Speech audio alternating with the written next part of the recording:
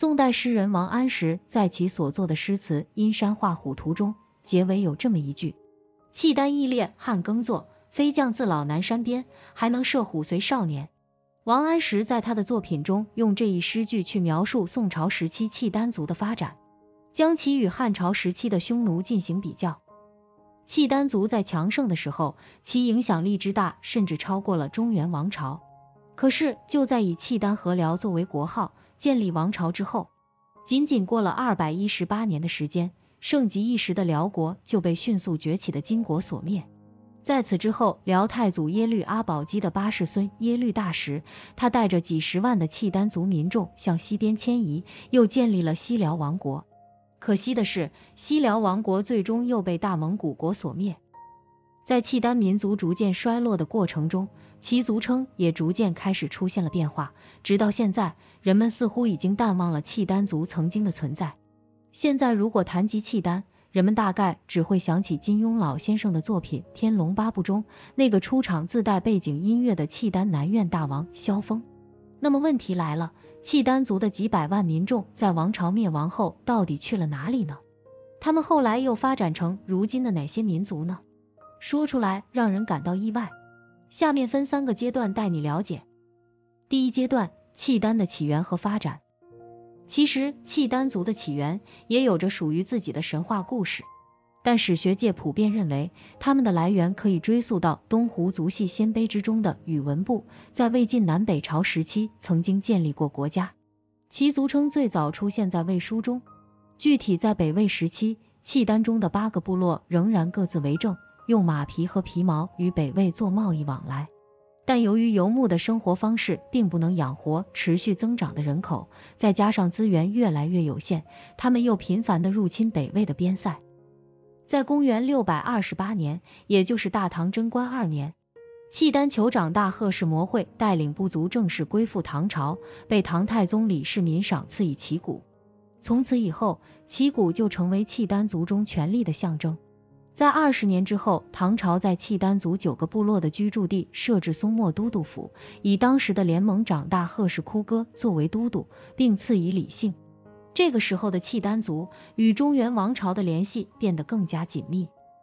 到了唐玄宗执政年间，一直影响中国北方的突厥部落逐渐衰落。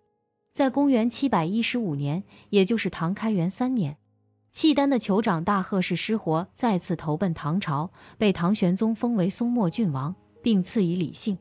唐玄宗同时又将东平王外孙杨延嗣之女封为永乐公主，并将其嫁给了李失活。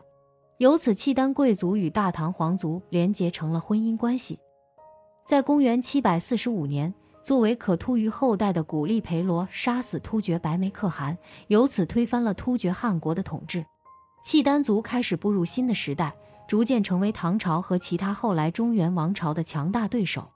在整个公元八世纪的初期，契丹族与唐王朝的关系时好时坏，但始终保持着基础关系，所以实力得到更大的增强。到了公元八世纪中期，他们终于摆脱了有百余大唐王朝、突厥和回鹘汗国之间的尴尬处境。在公元九世纪的中叶，大唐王朝摇摇欲坠。回鹘汗国覆灭，突厥被取代，契丹族终于摆脱了其他势力的控制，正式成为了北方最强的民族。到了公元十世纪的初期，在军事和政治天才耶律阿保机的带领下，契丹族建立起了属于自己的帝国，也就是大辽帝国。大辽帝国一共维持了长达二百多年的统治，其政权始终以北方草原为中心，在几代英明皇帝的领导下。其政治体制也不断的得到优化改革，还建立起了前所未有的游牧和农耕两套体制兼备的社会机制，开创南北面官制度。可是，在公元一一二五年，随着女真人的崛起，大辽帝国轰然倒塌，享国二百一十八年。此刻，仅剩耶律大石建立起来的西辽，继续维持了很长一段时间。可惜，到了公元一二一八年，西辽又被大蒙古国所灭亡。享国仅九十四年，最后到了公元十四世纪的末期，契丹族基本上在史书上消失了。那么问题来了，数量高达几百万的契丹人都去了哪里呢？第二阶段在历史进展中分散。首先不可否认的是，契丹族所建立起来的大辽帝国，其对中华民族和中华文化造成了极大的影响。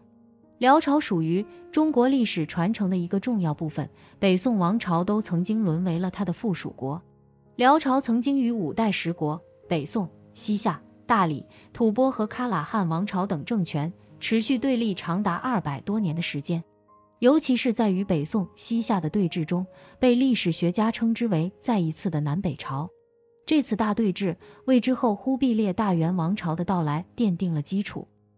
正是由于这一特殊历史背景的存在，在辽国的存在期间，中国又进行了一次规模空前、影响深远的民族大融合。契丹族不断的迁往北京、河北、山西、陕西、山东北部等地区，开始与汉族逐渐融合。在辽帝国的内部，渤海人、汉人、回鹘人、党项人、女真人，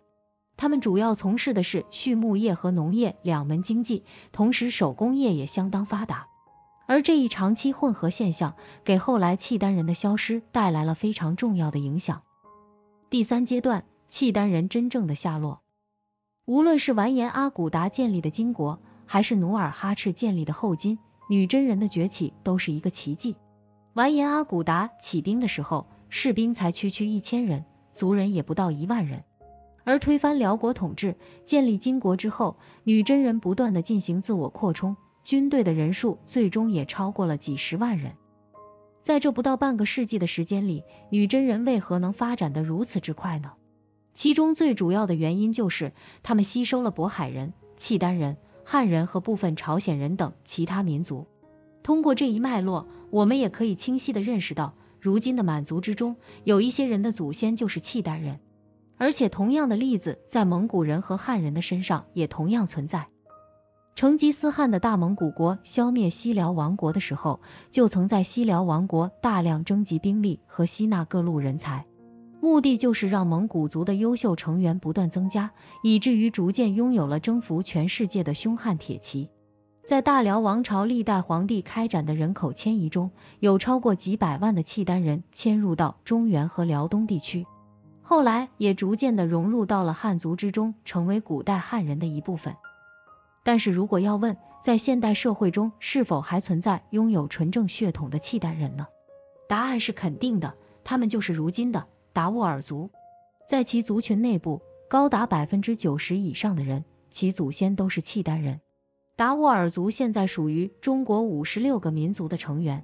现今主要分布于内蒙古自治区莫力达瓦达斡尔族自治旗、黑龙江省齐齐哈尔市梅里斯达斡尔族区、鄂温克族自治旗一带，其他少数居住在新疆塔城、辽宁省等地区。在大辽王朝灭亡之后，达斡尔族的先民迁徙到黑龙江以北。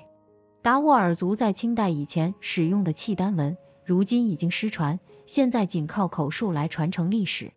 清朝以前的历史较难考究，